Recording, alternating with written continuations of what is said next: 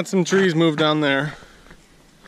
I just didn't want to cut those up because those pine trees have all those little sticks and they're pain in the butt to cut and chip or pick up or anything. But so we're hoping that the power is going to go through here right to the house, which is right where the top of my car is there. But I want to make this road go up through here so it's not going through like directly my front yard. But it's really steep here. But I'm gonna cut it into the hill here and then I'm gonna drag the dirt down the hill and might even have some left to take out to other spots, but I think I'm gonna work on this. I don't think I'm gonna get those rocks down there. At least not today, maybe tomorrow.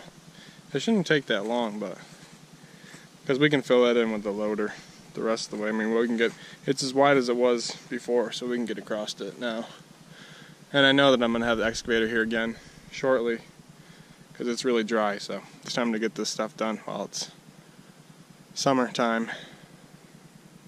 Maybe even a bulldozer, I don't know, we haven't decided which is going to be best to put the rest of the driveway out through the field there.